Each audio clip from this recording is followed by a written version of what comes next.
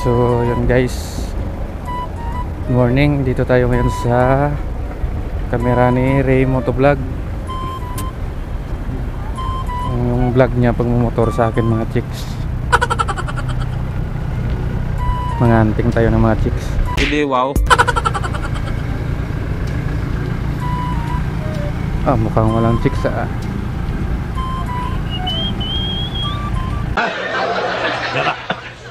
Nasa Miguel ako ah.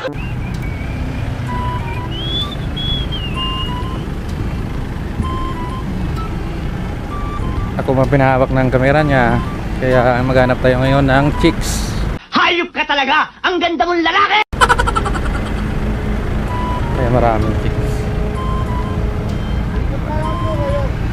Ayan, meron sa...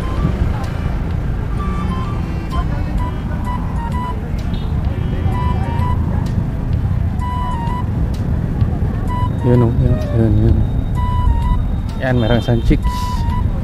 Wow! Hello ate.